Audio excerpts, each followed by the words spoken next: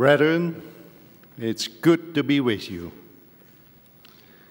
To speak in priesthood meeting of General Conference is for me literally a once in a lifetime opportunity because I have never before had this privilege in the 15 years that I have belonged to the quorum of the 70. And it is not likely that I will have another chance to do so. I therefore consider it a personal blessing to address such a vast audience of worthy men holding the priesthood of God. A great number of you are still single, and many of you are married. To those who are married, I would like to testify, based on my personal experience, that a loving, supportive wife at home is a great source of strength. You probably have heard the saying, Behind every great man stands a great woman. In the church, we have changed that adage somewhat by saying, Behind every great man in the church stands a surprised mother in law. because she may say, Is this the boy who married my daughter? Is he a bishop now? I can't believe it. yes, mother, that boy has matured, has gained experience by taking upon himself greater responsibilities, and has learned to serve the Lord while serving others. In short, he has changed. I would like to talk tonight about change because everything around us seems to be changing in an accelerated pace. In the last two years, we have observed tremendous changes in Eastern Europe, and also the recent events in the Persian Gulf region have, understandably so, changed the lives of many people in a dramatic way. It was inevitable that our personal lives as well were influenced by the events around us, and maybe we experienced the discomforting feeling that these changes in the world are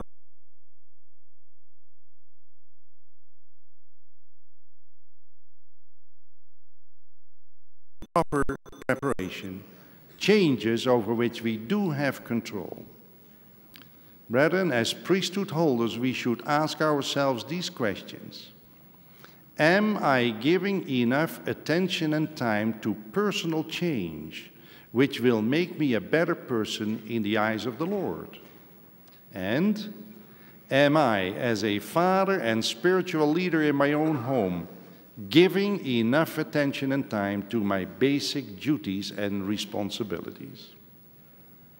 These are number one, to lead and direct my family in regular family prayer and study of the scriptures. Number two, to prepare my sons to receive the priesthood and the other members in the, my family to honor the priesthood.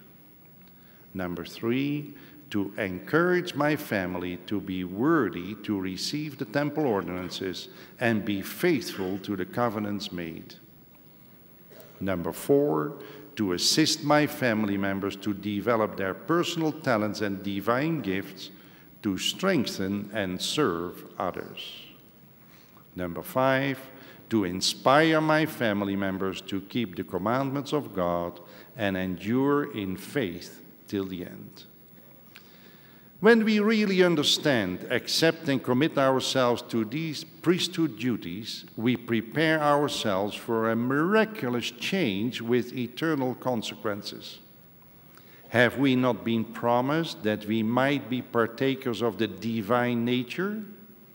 This means that through personal change, we develop a desire to live in harmony with the divine teachings of the Lord and to free our minds from all ill feelings towards other people. To do so will make us more worthy, even more perfect. The old saying, change is progress, then takes on a special meaning for all of us because repentance is change, conversion is change, perfecting is change. All this in complete harmony with the desires of our Heavenly Father and the loving pleadings of the Redeemer. as members of the Lord's restored church, we have through divine revelation received a perfect knowledge of what the future holds for us. The plan of redemption has been revealed to us in all its glory. It perfectly covers our premortal existence, our earthly journey, and our life hereafter, as recorded in the Book of Mormon. Elder Neal Maxwell has made the following statement about the manner in which we should read the Book of Mormon. For some members, the Book of Mormon remains unread. Others use it occasionally as if it were merely a handy book of quotations. Still others accept and read it, but do not really explore it and ponder it. The Book of Mormon is to be feasted upon, not nibbled. Let us therefore today feast upon the words of Amulek, the missionary companion of Alma the Younger, as recorded in the 34th chapter of Alma, starting with verse 30. And now, my brethren, I would that after you have received so many witnesses, seeing that the Holy Scriptures testify of these things, ye come forth and bring fruit unto repentance. Yea, I would that you would come forth and harden not your hearts any longer. For behold, now is the time and the day of your salvation. And therefore, if ye will repent and harden not your hearts, immediately shall the great plan of redemption be brought about unto you. For behold, this life is the time for men to prepare to meet God. Yea, behold, the day of this life is the day for men to perform their labors. And now, as I said unto you before, as ye have had so many witnesses, therefore I beseech of you that you do not procrastinate the day of your repentance until the end. For after this day of life, which is given us to prepare for eternity, behold, if we do not improve our time while in this life, then comes the night of darkness, wherein there can be no labor performed. Ye cannot say when you are brought to that awful crisis that I will repent, that I will return to my God. Nay, ye cannot say this, for the same Spirit which does possess your bodies at the time that you go out of this life, that same Spirit will have power to possess your body in the eternal world. End of quote.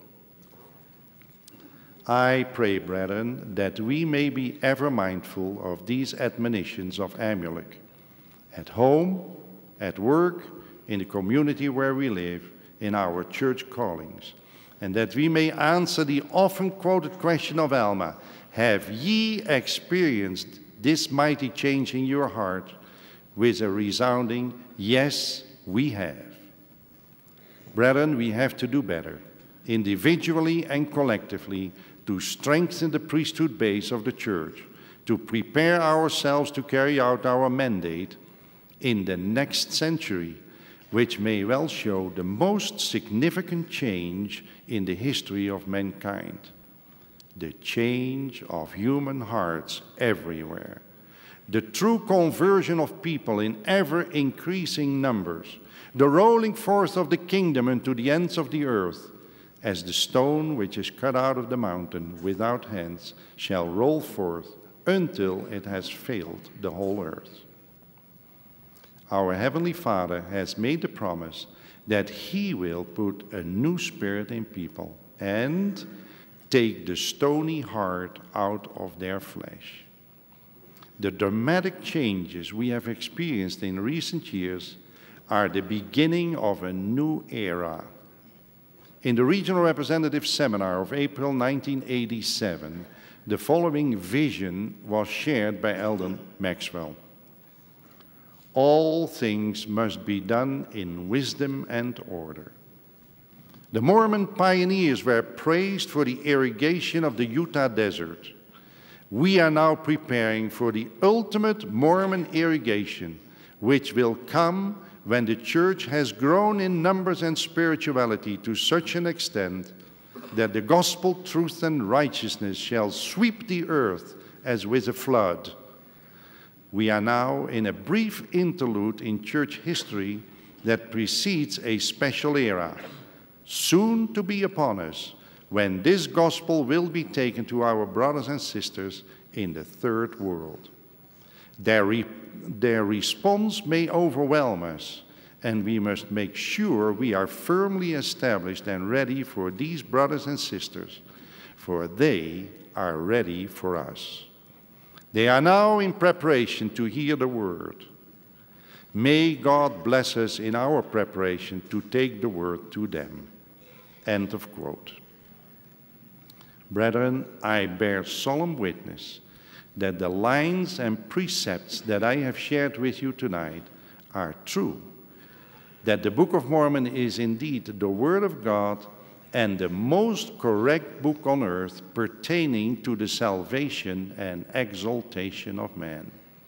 I know that God lives and that Jesus Christ is our Savior and Redeemer. I also testify that President Ezra Taft Benson is the Lord's prophet on the earth today, that we all may go out into the world to testify of these simple truths. I pray in the name of Jesus Christ. Amen.